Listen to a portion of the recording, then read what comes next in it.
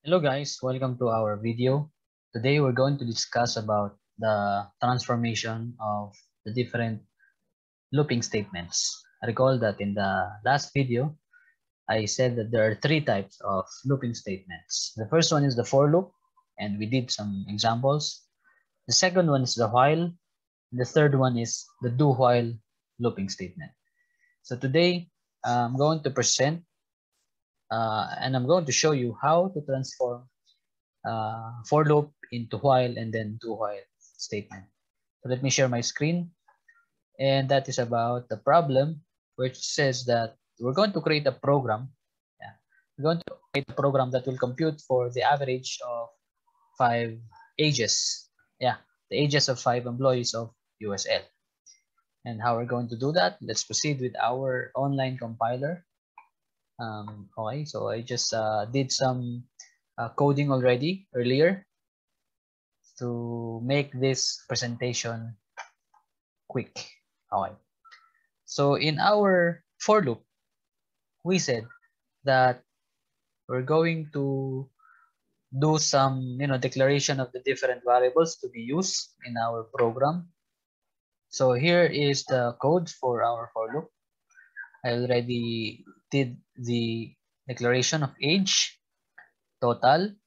Uh, this variable is used to accumulate the different ages and that is equivalent and that is initialized to zero. And then we have a counter here.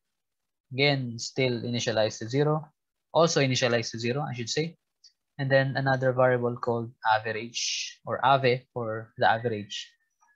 And take note of the parameters of our for loop. We said that the parameters inside the parentheses of our for loop, we have the initialization and then the condition that is less than or equal to five and then incrementation. So whatever is uh, inside this block of the for loop will be executed if and only if the condition is true.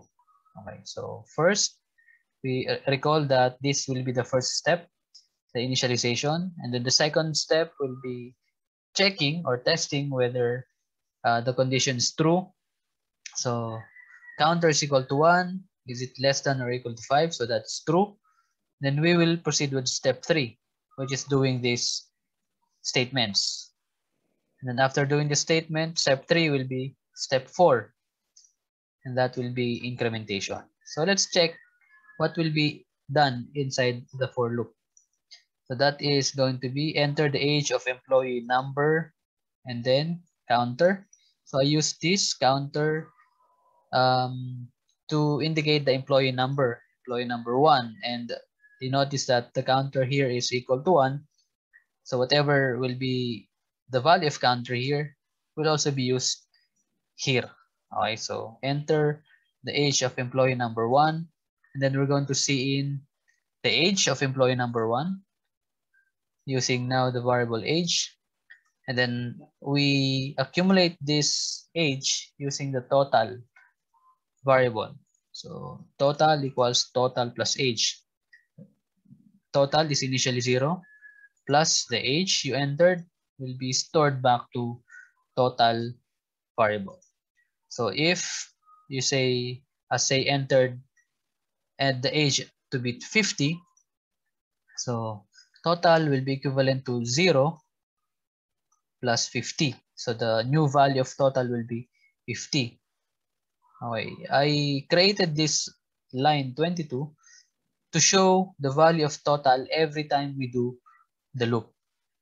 And then I put here the average inside our loop to compute the average every time we're doing the you know the loop of the program. So let's try to run. And then after the loop, I put here the average is and then the value of ave at the end of the loop. Okay, so you notice that it's now running. Okay, enter the age of employee number one, let's say 55. So the value of total is 55. Uh, this line is here, line 22, uh, to you know indicate the value of total every loop. Next, enter the age of employee number two. So you notice it became number two because our counter is changed. How did it change? Using this incrementation. So after this one, we proceed to the incrementation and and then go back to step one. So magiging counter equals 2. And then itetest ulit natin if it is less than or equal to 5. So true, you, true, then we will do this again. So let's say 50. Okay?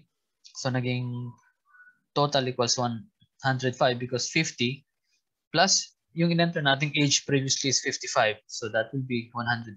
So we proceed. I continue. Age of employee number 3, say that will be 56.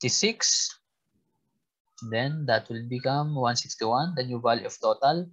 Sa nangyayari yung, ba't nababago tong value ng total? Dito yan sa ating line 22, which is the accumulation. So kung ano yung latest value ng total, ina-add lang natin yung in-enter natin age dito. Okay, proceed with the number 4, say 35.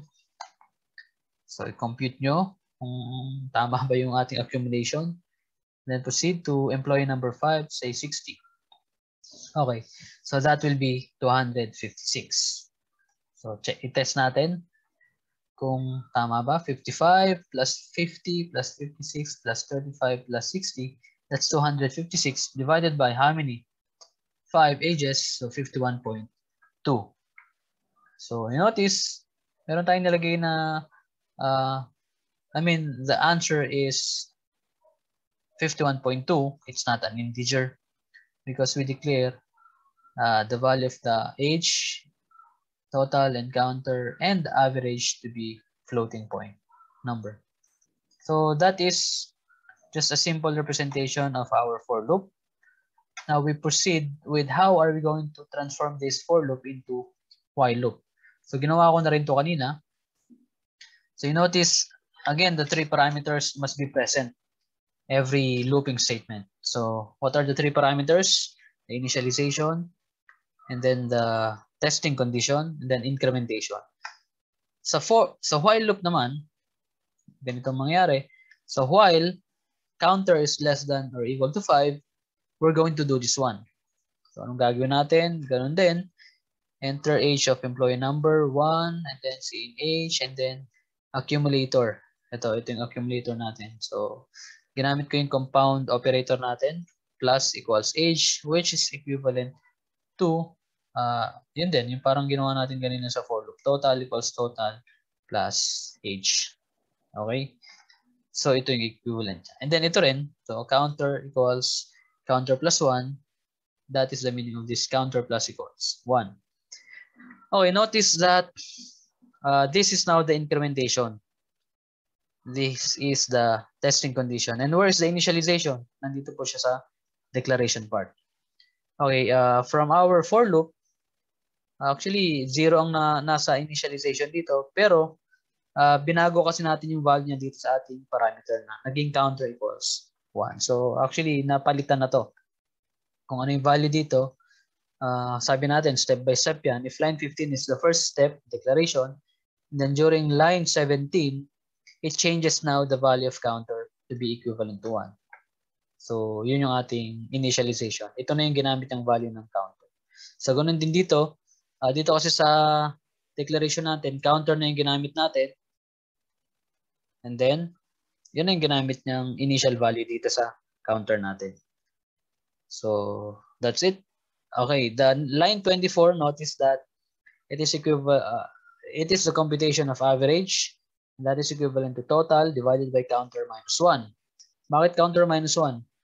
Um, again, uh, this will this loop will stop if the counter is no longer less than or equal to 5. Kailan mangyayari yon? Meron tayong incrementation dito. So from counter equals 1 until counter equals 5, gagawin niya pa rin itong loop na to. So, yung pang limang ulit na ginawa itong ito, line 19 to 21, nagkaroon ulit tayo ng incrementation. So, nung 5 na yung value ng counter natin, nag plus 1 tayo, so naging 6 yung value ng counter natin. And then if that is already 6, it's no longer less than or equal to 5. That's why it will skip this one already. So pupunta na siya sa next part of the program, which is the computation of average. And that is equivalent to total divided by counter minus 1. Kasi nga, yung recent or yung latest value ng counter natin ay equal sa 6 minus 1. Kaya naging 5 itong ating divisor. So, ganun din, the average is ave. Pag iraro natin, ganun din ang magiging output. Ganun din ang magiging output niya. Uh, inalis ko na dito yung ating uh, displaying of the value of total every loop. Dito kasi, ginawan ko ng ito, line 22. And this line 22, as I've said earlier, is just to show the value of our uh, total every loop. So habang ginagawa natin yung loop, itong portion na to, ano ba yung nagi ano ba yung value ng total natin? So pinapakita lang na ina-accumulate niya yung mga ages natin.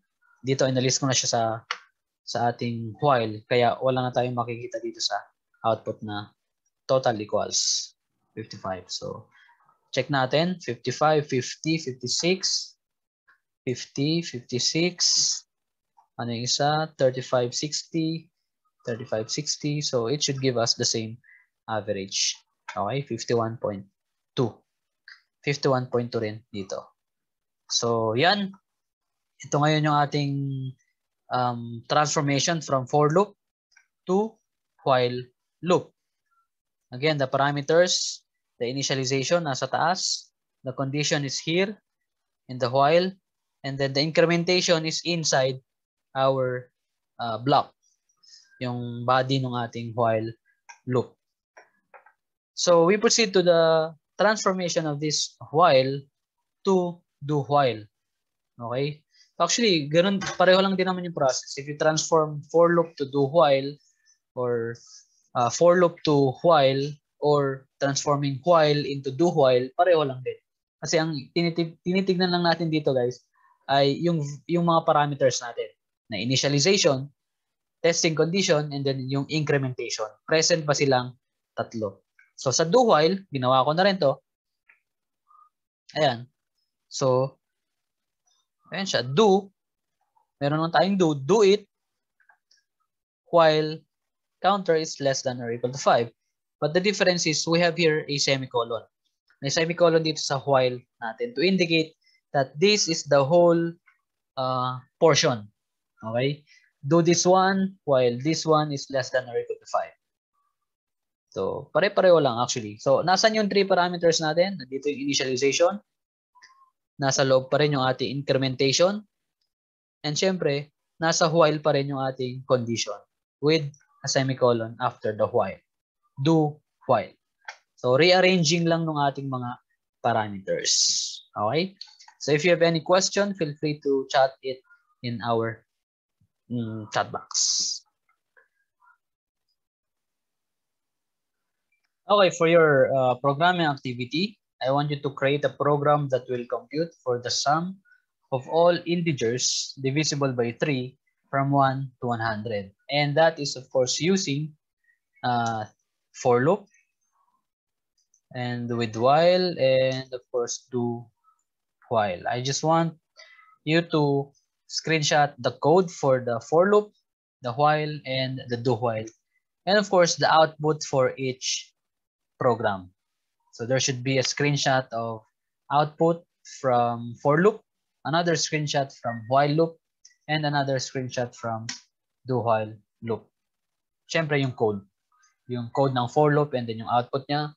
Yung code ng while loop and then yung output niya. And yung code ng do while loop, ay do while loop and yung output niya. So there will be three uh, different codes and three different outputs. But expectedly, there should be the same output. Okay? That will be your activity for today. To be submitted until uh, to be indicated. so I hope you learned something. If you if you have any questions, feel free to chat your instructors, your instructor and that's me. See you on the next video.